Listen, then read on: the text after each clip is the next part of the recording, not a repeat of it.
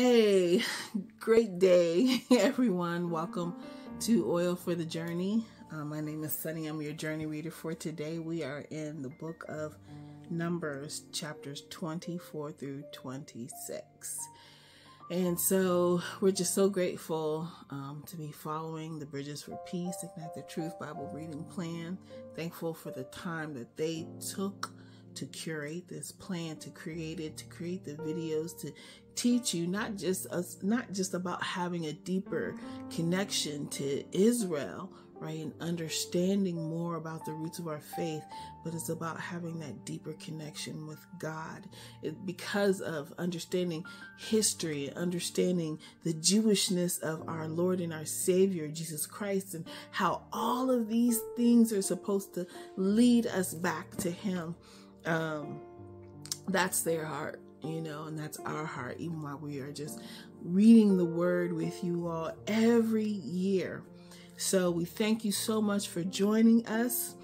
And so let's just pray. Lord, we just, uh, we thank you for this time in your word, Daddy, as we intentionally draw near to you.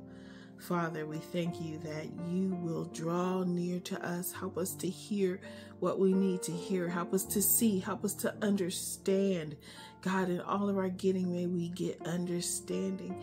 God, may we never lose heart. May we never grow weary in our well doing, God. Continue to strengthen your children, your people, Lord God. Even as we read through lineages, we, we know that you are about lineage and and um and, and and being faithful to your word, to your promises, Father God. And so we thank you for the promises that you have given to families, Lord, to sustain families, Lord, to keep us and I pray that we want to be kept by you. As one of my former pastors used to say. So we thank you for this, even now in Jesus' name. Amen. All right, guys, Numbers 24. but now Balaam realized that the Lord was determined to bless Israel. So he did not resort to divination as before. Instead, he turned and looked out toward the wilderness where he saw the people of Israel camped tribe by tribe. Then the Spirit of God came upon him, and this is the message he delivered. This is the message of Balaam, son of Beor, the message of the man whose eyes see clearly, the message of one who hears the words of God, who sees a vision from the Almighty, who bows down with eyes wide open. How beautiful are your tents, O Jacob! How lovely are your homes, O Israel! They spread before me like a palm, like palm groves, like gardens by the riverside. They are like tall trees planted by the Lord, like cedars beside the waters. Water will flow from their buckets. Their offspring have all they need. Their king will be greater than Agag. Their kingdom will be exalted. God brought them out of Egypt. For them, he is as strong as a wild ox. He devours all the nations that oppose him, breaking their bones in pieces, shooting them with arrows like a lion. Israel crouches and lies down, like a lioness who dares to arouse her. Blessed is everyone who blesses you, O Israel, and cursed is everyone who curses you. King Balak flew into a rage against Balaam. He angrily clapped his hands and shouted, I called you to curse my enemies instead. You have blessed them three times. Now get out of here. Go back home. I promise to reward you richly, but the Lord has kept you from your reward. Mm. Balaam told Balak, Don't you remember what I told your messengers? I said, Even if Balak were to give me his palace filled with silver and gold, I would be powerless to do anything against the will of the Lord. I told you that I could only I could only I can I could say only what the Lord says. Now I am returning to my own people, but first let me tell you what the Israelites will do to your people in the future. This is the message Balaam delivered. This is the message of Balaam son of Beor, the message of the man whose eyes see clearly, the message of one who hears the words of God, who has knowledge from the Most High, who sees a vision from the Almighty, who bows down with eyes wide open. I see him, but not here and now. I perceive him, but far in the distant future. A star will rise from Jacob, a scepter will emerge from Israel. It will crush the heads of Moab's people, cracking the skulls of the people of Sheth. Edom will take be taken over, and Seir, its enemies, will be conquered. While Israel marches on in triumph, a ruler will rise in Jacob who will destroy the survivors of Ir. Then Balaam looked over toward the people of Amalek and delivered this message. Amalek was the greatest of nations, but its destiny is destruction. Then he looked over toward the Kenites and delivered this message Your home is secure, your nest is set in the rocks, but the Kenites will be destroyed when Assyria takes you captive. Balaam concluded his messages by saying, Alas, who can survive unless God has willed it? Ships will come from the coast of Cyprus. They will oppress Assyria and afflict Eber, but they too will be utterly destroyed. Then Balaam left and returned home, and Balak also went on his way. Numbers 25.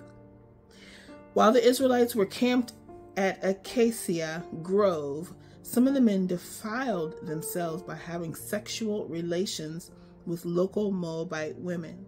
These women invited them to attend sacrifices to their gods. So the Israelites feasted with them and worshiped the gods of Moab. In this way, Israel joined in the worship of Baal of Peor, causing the Lord's anger to blaze against his people.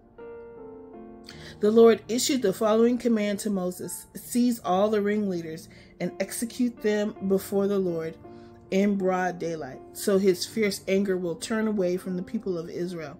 So Moses ordered Israel's judges Each of you must put to death the men under your authority who have joined in worshiping Baal of Peor. Just then, one of the Israelite men brought a Midianite woman into his tent right before the eyes of Moses and all the people, as everyone was weeping at the entrance of the tabernacle. When Phinehas son of Eleazar and grandson of Aaron, the priest, saw this, he jumped up and left the assembly. He took a spear and rushed after the man into his tent. Phinehas thrust the spear all the way through the man's body and into the woman's stomach.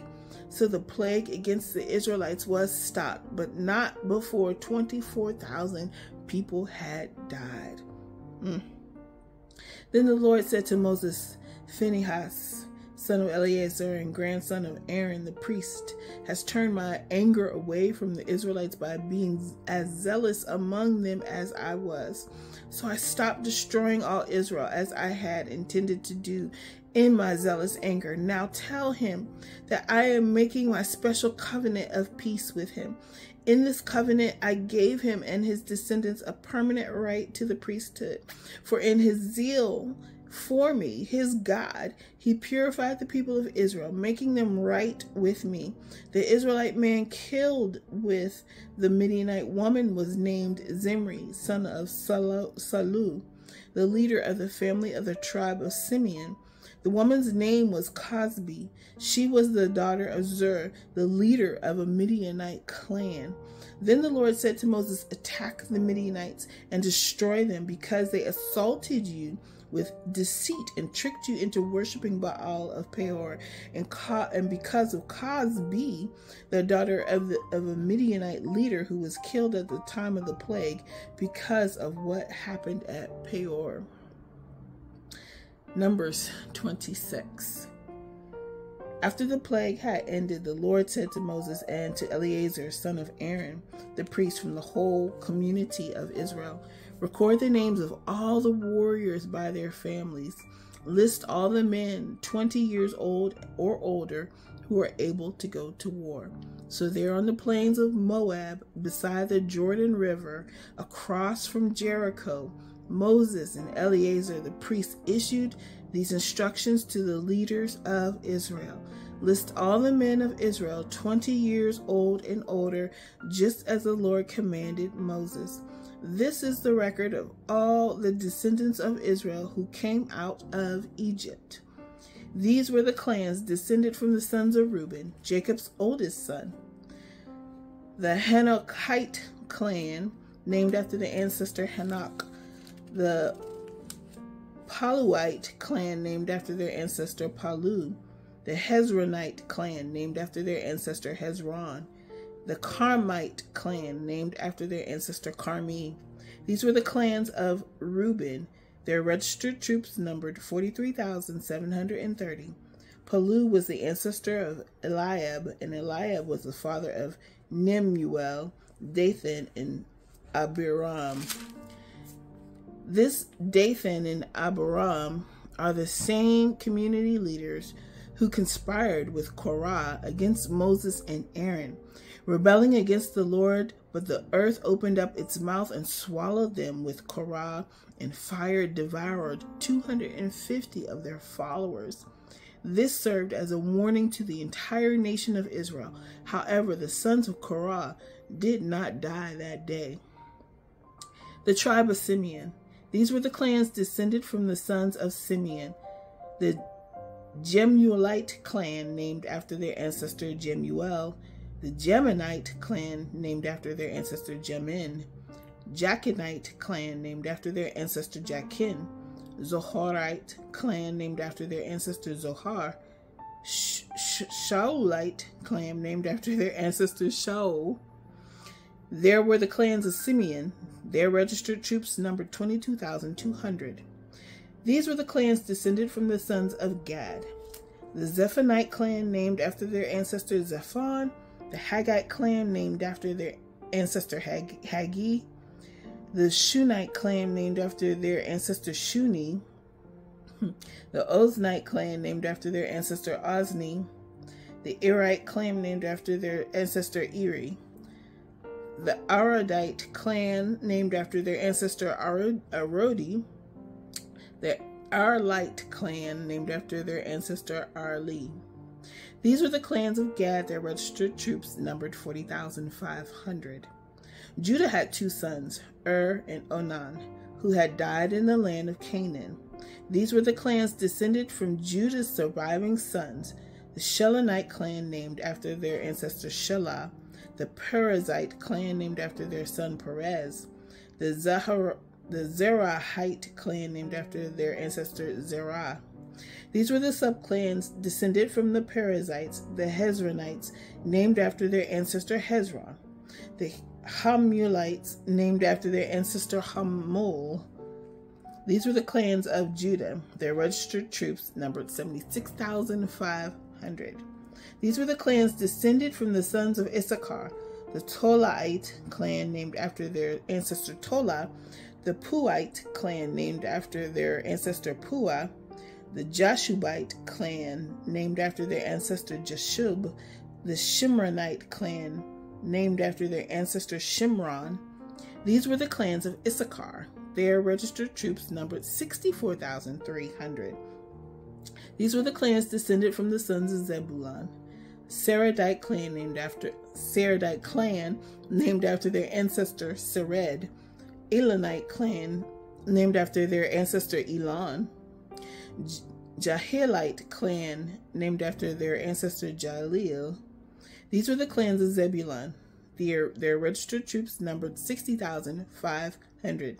Two clans were descended from Joseph through Manasseh and Ephraim. These were the clans descended from Manasseh. The Machirite clan named after the ancestor Machir, the Gileadite clan named after the ancestor Gilead, Machir's son, these were the subclans, descended from the Gileadites, the Israelites named after their ancestor Ezer, the Helekites named after their ancestor Helek, the Azraelites named after their ancestor Azrael, the Shechemites named after their ancestor Shechem, the Shemaites named after their ancestor Shemida, the Hepher the Hepherites, named after their ancestor Hepher, One of the Hepher's descendants, Zelophehad, had no sons, but his daughters' names were Mahlah, Noah, Hagla, Milcah, Tirzah. These were the clans of Manasseh. Their registered troops numbered 52,700. Hmm. These were the clans descended from the sons of Ephraim. The Shuthelite clan, named after their ancestor Shuthelah, the Becherite clan, named after their ancestor Becher, the Tahanite clan, named after their ancestor Tahan. These were the subclan descended from the Shethelahites, the Aaronites, named after their ancestor Aaron. These were the clans of Ephraim. Their registered troops numbered 32,500. These clans of Manasseh and Ephraim were all descendants of Joseph. These were the clans descended from the sons of Benjamin. The Belite clan named after their ancestor Bela, the Ashbelite clan named after their ancestor Ashbel, the Aharamite clan named after their ancestor Aharam, the Shuphamite clan named after their ancestor Shupham, the Huphanite clan named after their ancestor Huptham. These were the subclans descended from the Belaites, the Ardites named after their ancestor Ard, the Namites named after their ancestor Naaman. These were the clans of Benjamin. Their registered troops numbered 45,600. These were the clans descended from the sons of Dan the Shuhamite clan named after the ancestor Shuham. These were the Shuhamite clans of Dan. Their registered troops numbered 64,400. These were the clans descended from the sons of Asher. Imnite clan named after their ancestor Imnah. The Ishvite clan named after their ancestor Ishvi.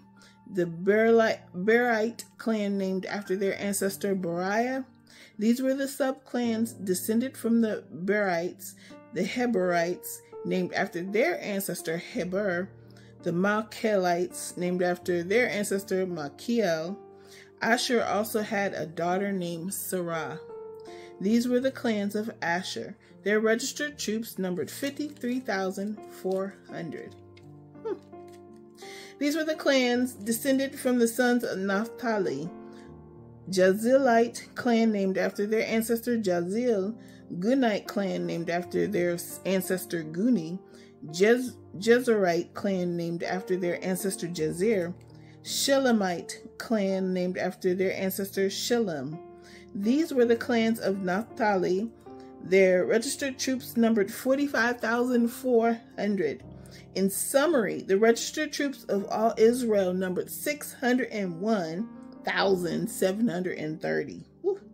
Then the Lord said to Moses, Divide the land among the tribes and distribute the grants of land in proportion to the tribes' populations, as indicated by the numbers of names on the list. Give the larger tribes more land and the smaller tribes less land each group receiving a grant in proportion to the size of its population.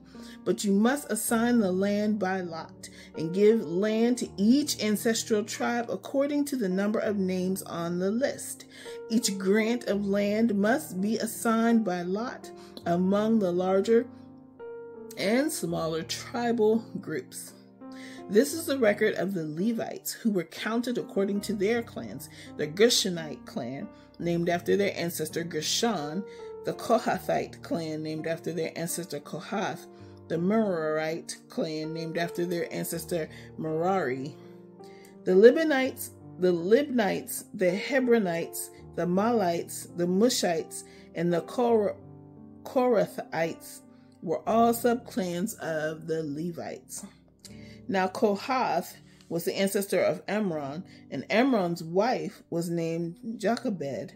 She also was a descendant of Levi, born among the Levites in the land of Egypt. Amram and Jochebed became the parents of Aaron, Moses, and their sister Miriam. To Aaron was were born Nadab, Abihu, Eleazar, Ithamar, But Nadab and Abihu died when they burned before the Lord the wrong kind of fire, different from then, different than he had commanded. The men from the Levite clans who were one month older, oh, sorry, who were one month old or older numbered 23,000. But the Levites were not included in the registration of the rest of the people of Israel because they were not given an allotment of land when it was divided among the Israelites. So these are the results of the registration of the people of Israel as conducted by Moses and Eleazar the priest on the plains of Moab because beside the Jordan River across from Jericho. Not one person on this list had been among those listed in the previous registration taken by Moses and Aaron in the wilderness of Sinai. Hmm. For the Lord had said to them, They will all die in the wilderness. Not one of them survived except Caleb, son of Jephunneh, and Joshua, son of Nun.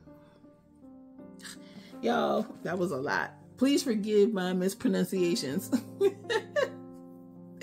it's all good. I, I believe Jesus still loves me and that my name is still written in his book by his grace in Jesus' name.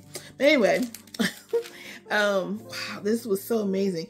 And I love the fact, even where this requires some more digging, like where they would mention the women, you know, in that were part of these uh, clans or these tribes and how um, you know, like, oh, such and such just had a daughter, you know? Well, for instance, I love reading about, um, what's his name? Zelophehad. He had five daughters. And so that reminds me because my dad had five daughters.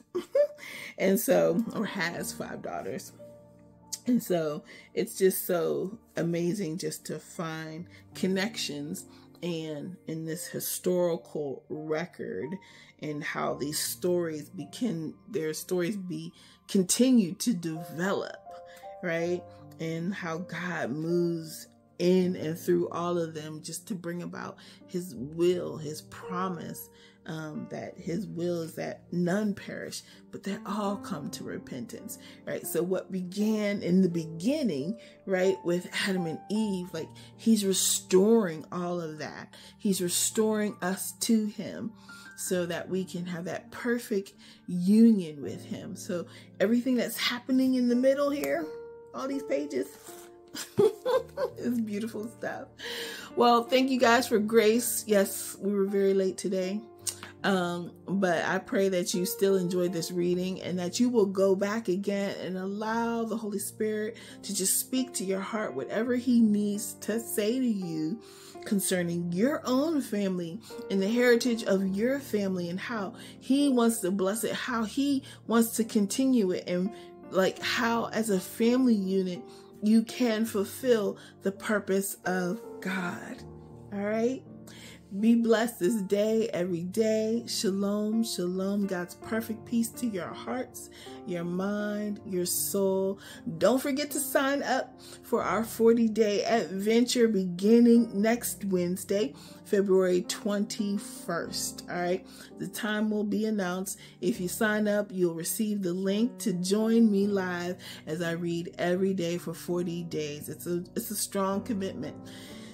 It ain't easy but I believe that there is a blessing that God is faithful, that as we draw near to Him, He will draw near to us. And I don't know what He wants to do or what He's going to do or what He's going to say, but hey, I'm here for it. Will you be there? I hope so. Thank you so much again. Have an amazing day. We'll see you tomorrow. All right. God bless.